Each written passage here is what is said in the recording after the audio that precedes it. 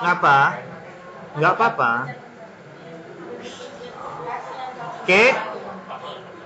Kita lanjutkan ke nomor tiga yang tadi sempat uh, kurang informasinya. Ini ternyata ada A tegak lurus B. Oke. Diketahui A tegak lurus B ya. Kalau A tegak lurus B berarti apa? Berarti A dot B sama dengan 0. Ya. A dot B sama dengan 0. Ini nama lainnya berarti 1 kali 4 ditambah 2 kali 4 ditambah min 3 kali M sama dengan N 0. Oke, sudah?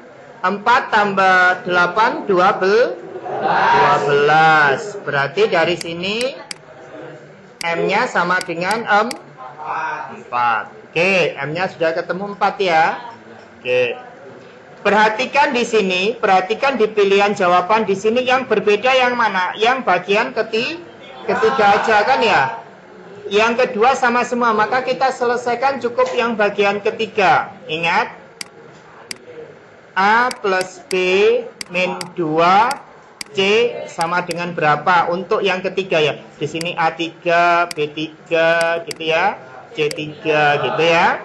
Berarti di sini min 3 ditambah 4 dikurangi 10. Berarti sama dengan berapa?